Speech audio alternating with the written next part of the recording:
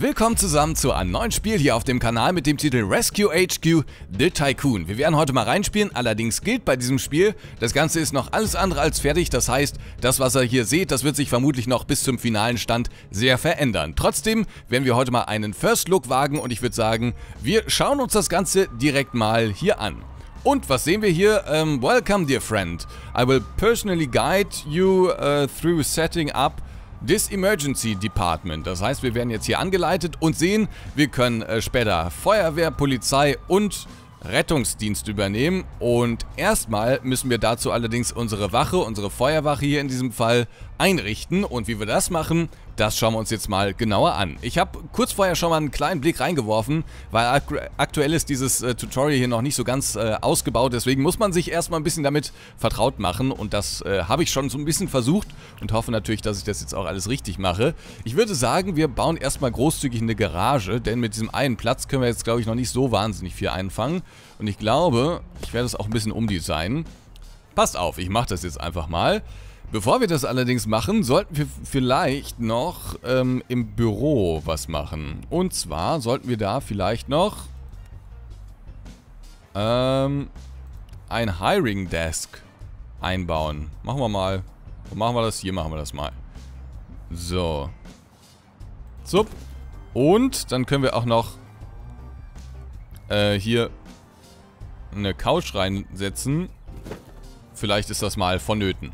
Jetzt werdet ihr sagen, was ist das? Ist das hier der Einrichtungssimulator 2020 oder was? Ähm, nee, ist es nicht. Also wir können hier zwar unsere äh, Wache einrichten und müssen die dann auch später erweitern und, wenn ich hier mal rauszoome, ich glaube, das kann man alles hier freischalten. Das heißt, das Ding, das Areal wird noch richtig groß, man kann da richtig, man hat da richtig Ausbaumöglichkeiten sozusagen. Aber ähm, bevor wir jetzt hier irgendwelche Einsätze erledigen, müssen wir natürlich erstmal unsere Wache soweit einrichten und das können wir eben erstmal machen, äh, beziehungsweise müssen das auch machen und deswegen müssen wir jetzt erstmal ein bisschen, ja, die einzelnen Garagen hier bauen. Zum Beispiel für das LF, das Löschfahrzeug. Das setzen wir jetzt einfach mal hier hin. Dann können wir noch einen TLF reinsetzen. Das kommt hier hin. Und dann noch eine Drehleiter, die kommt hier hin. So. Dann haben wir natürlich noch einige Plätze und äh, die brauchen wir auch, denn es sind noch ganz viele andere Räume zu bestücken. Wir haben also hier unsere Garage, ähm, unseren Korridor, also unseren Flur hier. Ähm, Prison, können, ah, Prison können wir auch schon bauen, aber ganz viele Dinge sind hier noch nicht freigeschaltet. Was allerdings schon äh, freigeschaltet ist, ist hier die ähm, Kitchen, die Küche.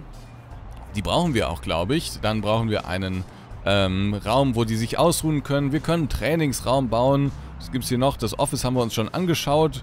Ähm, wir können hier Duschen und Toiletten, auch das ist sehr wichtig für den Feuerwehralltag, ähm, einbauen. Wir können hier was zum, zum Relaxen einbauen und es gibt hier auch noch die Workshop Area und die dachte ich mir, setzen wir mal hier hin. Ah, wo haben wir sie? Hier. So, dann können wir da nämlich, dann bauen wir hier mal schnell eine Tür rein. Denn, wenn wir jetzt zum Beispiel sagen, ah, ich würde hier gerne äh, sowas hier bauen, dann wird das vermutlich erstmal nicht funktionieren, weil wir keine... Ach doch, hier ist eine Tür schon drin. Na, ah, Glück gehabt. Jetzt hat er... aber wir sehen es hier. Hier ist noch keine... Hier ist jetzt keine Tür mehr drin. Muss, so muss ich sagen. Deswegen bauen wir hier mal schnell eine rein. Ähm, müssen wir diesen schönen Wandschmuck hier übergehen. So. Kling. Ähm, so. Und dann machen wir aber weiter mit unserem äh, Workshop-Raum hier. Das habe ich, glaube ich, schon. Und dann machen wir hier noch das rein. Flup. Das ist eine Airtank Refill Station. Und das ist ein Airtank Storage. Das heißt, ich nehme mal an, das äh, geht hier um die Atemschutzmasken. Das heißt, hier werden die gelagert und hier werden sie aufgefüllt. Das ist beides sehr wichtig äh, im Feuerwehralltag. Und damit wir das auch in entsprechender Geschwindigkeit machen können, würde ich sagen, machen wir doch direkt eine Tür hier zu diesem Raum. So. Gut, damit haben wir jetzt schon mal die wichtigsten Fahrzeuge für unsere Feuerwehr. Ich glaube, mehr können wir hier aktuell noch nicht raussenden. Ähm, wir haben ein Hiring Desk gemacht. Was wir jetzt noch machen müssen, sind so Dinge wie ähm, Betten, Trainingsraum und vor allen Dingen erstmal ein Bad errichten.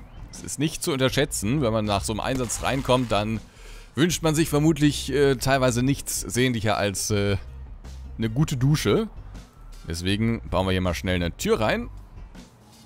Und dann Das müssen wir jetzt hier leider so eine... Für Männlein und Weiblein muss es jetzt leider das gleiche sein. Äh, so viel Platz haben wir nämlich aktuell nicht. Wir könnten zwar hier schon erweitern, das kostet aber auch ordentlich ähm, Geld. Und das sind jetzt hier auch leider Gottes so, ähm, naja. äh, ihr seht selber, die sind geöffnet, die Toiletten. Ich weiß nicht, ob man die auch schließen kann. Schauen wir uns später an. So. Und dann bauen wir gegenüber mal hier die Duschen rein. Und was ganz wichtig ist... Ah ja, das war es wieder komplett. Da würde ich sagen, müssen wir einmal hier die Bombe nehmen. Und da machen wir das einmal nochmal anders. Äh, dann bauen wir mal hier... Äh, ja, ist ein bisschen schwierig jetzt gerade. Ich habe es nicht ganz so geschickt gemacht. Hm, hm, hm, hm. Ja, wir lassen das mal gerade so. Ein Waschbecken wird ja wohl ausreichen. So, gut. Damit haben wir jetzt also schon diese Räume hier gemacht. Jetzt könnten wir vielleicht noch äh, hier hinten einen Raum machen, einen größeren. Training mache ich glaube ich mal noch nicht. Ich mache erstmal einen Bedroom. Ähm, nicht zu groß. Äh, so, und dann muss ich hier nochmal kurz den Korridor erweitern. Habe ich jetzt hier ein bisschen reingebaut. So. Und dann machen wir hier schon nochmal schnell das rein. So, und das Ganze ist äh, sowas wie eine... Also ein Leitstellensimulator, würde ich sagen. Ein Feuerwehrsimulator irgendwie auch. Und alles so ein bisschen gemixt. Es ist aber jetzt keine Simulation oder so. Also es ist ein echter Tycoon. Und keiner, der sich so fürchterlich ernst nimmt, sondern äh, ich glaube, da sind auch so ein paar witzige Elemente eingebaut, wenn ich es richtig verstanden habe. Wo die so durchkommen und so, das werden wir sicherlich noch sehen. Ähm, ich weiß nicht, ob in dieser Folge, aber diese Folge dient ja auch eher so als First Look. So, wo haben wir jetzt unseren Bedroom hier? Da machen wir hier nochmal schnell ein paar Bettchen rein. Diskretion. So, Flup. Okay. So, dann haben wir die wichtigsten Dinge, denke ich, ähm, hoppala, schon mal geschafft. Jetzt müssen wir mal kurz gucken. Hier ähm, scheint es aktuell noch ein Problem zu geben. Müssen wir mal schnell nochmal das Office hier ein bisschen ändern. So wäre es vermutlich okay, ne? Ist es so okay? Ja, so scheint es okay zu sein. Dann können wir jetzt hier mal weiterlaufen lassen. Und dann wird das jetzt alles aufgebaut. Und vielleicht kann ja jemand schon mal hier refillen. Wir müssen das ein bisschen im Auge behalten, wenn hier nämlich ein Einsatz reinbekommt. Und hier muss auch natürlich jemand an den Hiring Desk. Äh, wenn hier ein Einsatz reinkommt, dann müssen wir die Mitarbeiter eventuell hier wieder von befreien. Aber solange hier kein Einsatz reinkommt, könnt ihr erstmal damit arbeiten. Und es wird, solange kein Einsatz reinkommt, wie hier keine Fahrzeuge stehen. Das wird sich aber, wie gesagt, gleich ändern. Ich hoffe, ich habe das jetzt alles soweit korrekt gemacht und äh, richtig erklärt. Ich bin mir nicht ganz sicher, weil wie gesagt, das Tutorial und so, es gibt auch noch kein Handbuch und so, deswegen ähm, bin ich mir, wie gesagt, nicht ganz sicher, aber ich hoffe natürlich, dass es einigermaßen passt. Und das ganze Spiel ist, ich muss sagen, da habe ich noch ein bisschen Probleme mit, ähm, so in so einer Low-Poly-Grafik gebaut. Da gibt es ja einige Spiele. Und, oh, excellent. Check your applicants tab um, in the crew menu, some more firefighters have decided to join you. Das sind ja hervorragende News. Die ganze Stadt will sich bei uns bewerben. Sechs Mann! Die müssen wir alle einstellen. Jetzt muss ich aber erstmal unsere Wache hier wieder finden. Äh. Genau. Und wenn ihr noch weitere Infos braucht oder auch noch ein paar exklusivere Einblicke sozusagen erhaschen wollt, dann könnt ihr auch gerne auf dem Discord von dem Spiel vorbeischauen. Ich werde euch das mal in der Videobeschreibung verlinken. Schaut da einfach mal rein, wenn ihr Discord habt. Ah, wo ist denn jetzt hier unsere... Ich hätte es nicht machen sollen. Wo ist denn jetzt hier unsere Wache, Mensch? Ähm... Da könnt ihr mal reinschauen. Da wird auch nochmal viel erklärt und wenn ihr irgendwelche Fragen habt oder auch später bei den Beta-Tests irgendwie mitarbeiten wollt, dann könnt ihr das darüber machen. Usually you will recu uh, recruit uh, crew by manning the appropriate recruitment desk, but completing objectives may also give additional crew. Okay. Hm. Wäre ganz schick, wenn man... Uh, now it's time to expand the common area a bit to earn a bit of renown for ourselves. Okay. Let's set up basic functional bathroom. Habe ich schon gemacht. A small kitchen where people can eat in peace. If they don't have anything to eat, they'll just go out right when you need them. Okay, das ist, das ist ein wichtiger Punkt. Jetzt muss ich echt mal kurz meine Wache suchen. Ich würde sagen, das... Ah, die... Hier ist sie. So. Ähm, eine Sache haben wir noch nicht gemacht, nämlich diese Kitchen gebaut. Die ist relativ wichtig, weil sonst gehen die Feuerwehrleute, die wir hier eingestellt haben, einfach, hat er ja gerade erklärt, die, die gehen einfach irgendwo hin, und sind dann nicht da. Und das ist ein Problem, wenn wir nämlich einen Einsatz reinbekommen, dann sind die nicht verfügbar, weil sie jetzt gerade irgendwie, keine Ahnung, bei Meckes um die Eckes äh, hier ihr, ihr Feuerwehrfrühstück zu sich nehmen.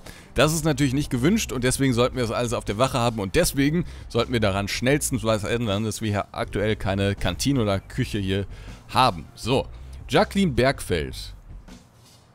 Ähm, genau. Mhm. Rookie Firefighter. Sind alles Rookie Firefighters, ne? Wir nehmen mal so drei oder so. Müssen wir gucken, vielleicht können wir später ja noch mehr nehmen. Gut, dann jetzt noch ein Küchenraum hier. Ich baue den mal hier hin. Und dann gibt es hier auch eine Tür. Das ist ganz wichtig, dass ihr die Türen immer setzt dann später. Und dann... Ah, der ist zu eng. Wir können hier nur solche Stühle hier reintun.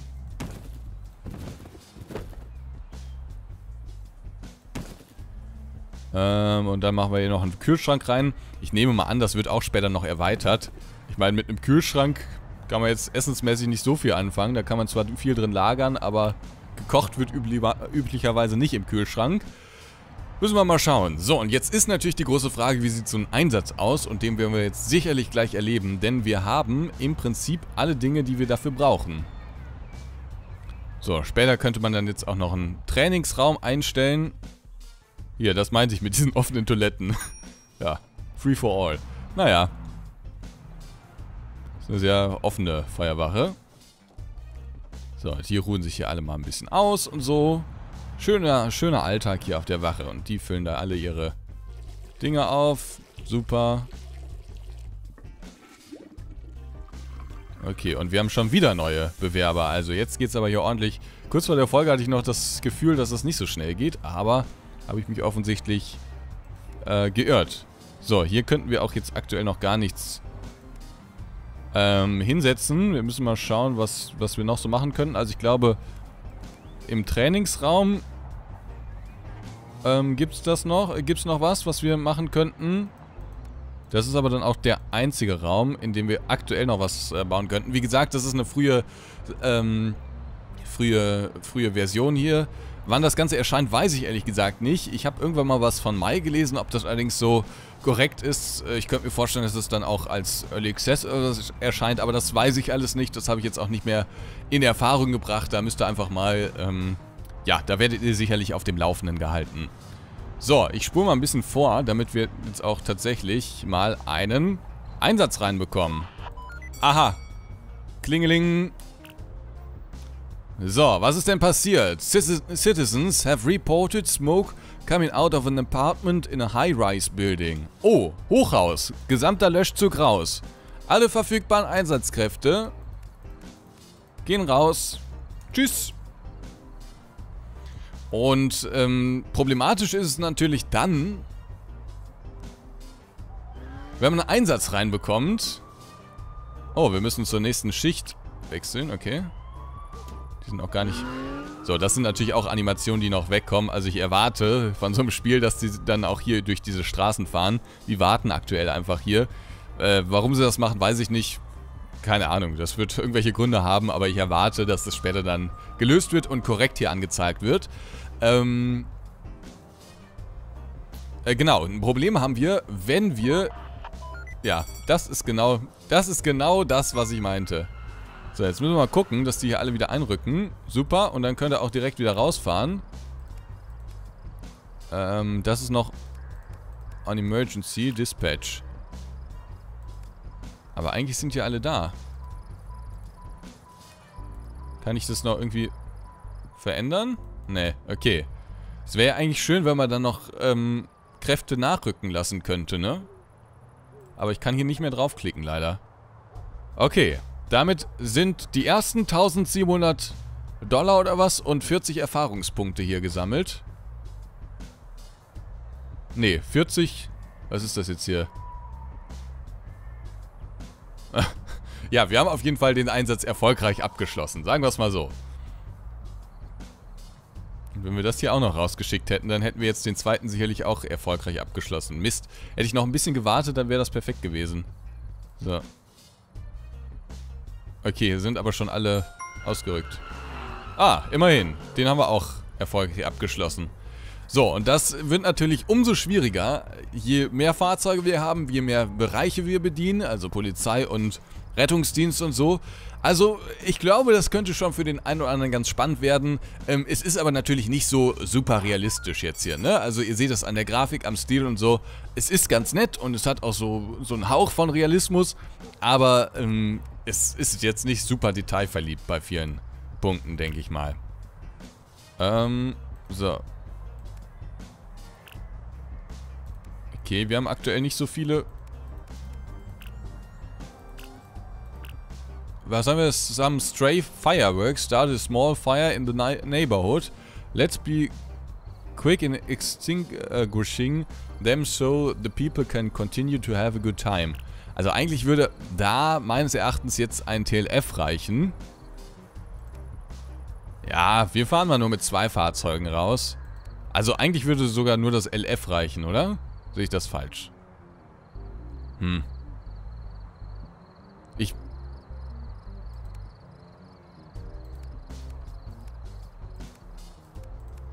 Äh, wie, wie sieht das hier aus? Wir fahren mal mit vier Mann auf dem LF raus. Mal gucken, ob das reicht. Ich weiß es nicht. Aber ich würde sagen jetzt, also ich würde das jetzt so einschätzen. Schauen wir uns mal schnell an. Wie sieht das aus? Da düster los. Und hier in dieser Beta-Version ist jetzt noch der Steam-Name eingeblendet. Vermutlich, also sowas wird manchmal gemacht, wenn noch keine Videos und äh, Fotos veröffentlicht werden sollen oder so. So, dass man dann weiß, aha, wenn was veröffentlicht wird, wer hat es veröffentlicht. Ähm, das ist jetzt natürlich bei dieser Version hier nicht mehr so ganz sinnvoll. Ist aber trotzdem hier drin. Stört mich auch ehrlich gesagt ein bisschen, ließ sich aber jetzt nicht mehr vermeiden vor der Folge. Sorry dafür, deswegen müsst ihr jetzt leider mit meinem Namen hier vorlieb nehmen. So. Tatsächlich. Es hat gereicht. Gut, aber das muss man halt dann irgendwie so ein bisschen über die Zeit einschätzen und versuchen zu, ähm, zu, zu verinnerlichen, äh, zu welchem Einsatz man welche Kräfte rausschicken sollte, wie man die ausrüsten sollte, was man da mitnehmen sollte, was man auf keinen Fall mitnehmen sollte und ähm, das alles so ein bisschen managen, sodass das eben effizient geschieht sozusagen und dass man dann gegebenenfalls auch mal zwei äh, Einsätze gleichzeitig abarbeiten kann. Und was natürlich ganz wichtig ist, und das, da habe ich jetzt noch gar nicht drauf geachtet, ich weiß auch nicht, ob das alles so fertig ist, ähm, hier oben muss natürlich auch immer die Summe stimmen. Und unsere Reputation sollte immer stimmen. Das heißt, wir sollten hier nicht pleite gehen. Alles andere wäre wär nämlich sehr, sehr schlecht. Und wenn wir jetzt äh, sagen, okay, wir wollen hier erweitern, dann können wir das, glaube ich, machen, indem wir hier jetzt einfach hier drauf klicken. Und jetzt haben wir ordentlich Cash dafür bezahlt und haben aber auch wesentlich mehr Platz und könnten jetzt hier unsere Wache erweitern. Ähm, und das könnten wir hier natürlich auch machen. Dann könnten wir hier noch weitere Fahrzeuge draufsetzen und so weiter und so fort. Das wird allerdings alles äh, später noch, äh, glaube ich, äh, balanciert und so. Trotzdem, das sollte so ein kleiner Einblick sein. Ich bin gespannt, wie euch dieses Spiel hier gefällt. Ich hoffe, euch hat das Video dazu gefallen. Wenn ja, lasst gerne einen Daumen nach oben da und schaut auch gerne in die nächsten Videos rein. Wann die erscheinen, weiß ich jetzt noch nicht so ganz. Hängt auch ein bisschen von eurem Interesse ab. Aber wie gesagt, lasst gerne mal einen Daumen nach oben da und schaut auch gerne nächstes Mal rein. Und ich bin sehr gespannt auf eure Kommentare. Was fehlt euch? Was würdet ihr euch noch wünschen? Wünschen und was findet ihr schon gut? Schreibt mir das gerne unten rein. Ich werde es mir aufmerksam durchlesen und sage an der Stelle vielen Dank fürs Zuschauen. Bis zum nächsten Mal. Tschüss.